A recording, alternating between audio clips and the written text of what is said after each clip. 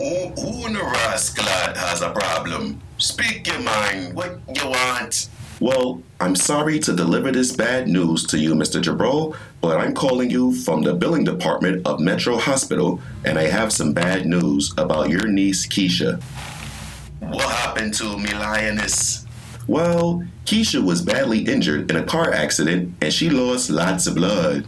Oh, I and I come down upon me Keisha soul with manna from heaven, man. Well, well, before you come, let me just let you know that she's currently receiving our best care and she is recovering from an emergency surgery and blood transfusion.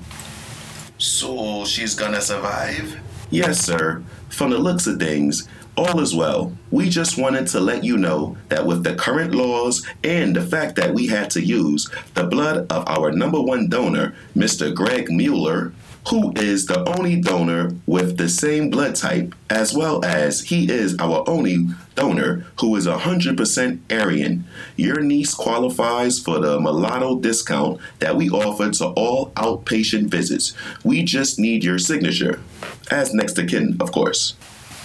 Me not care what blood you put, Punchy. I and I sees all and knows all, the man. Give thanks to Greg Mueller. Okay, sir. So, just to make sure we're clear, you're completely comfortable and thankful with your black niece's survival with the use of a white man's blood? Jah seeds Jah and all of Jah seeds.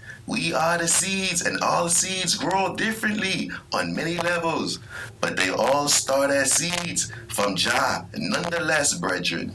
Oh, sir, I'm sorry. This is a prank, but I'm rocking with you. You the my yo, wait.